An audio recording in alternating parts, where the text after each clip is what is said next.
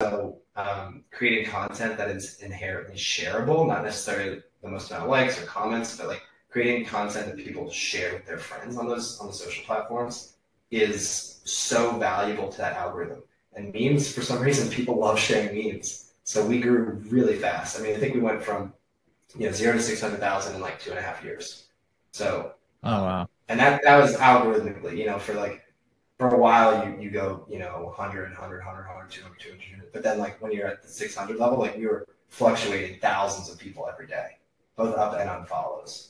Um, but that's that's you know, incredible.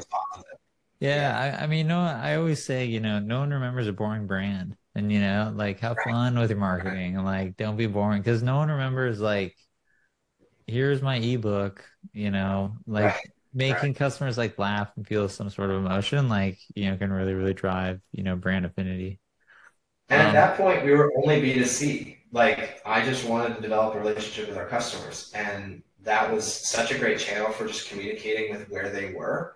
Like a lot of people still turn to instagram facebook and twitter for or x for for content recommendations you know? And so what are their friends talking about? What are their friends excited?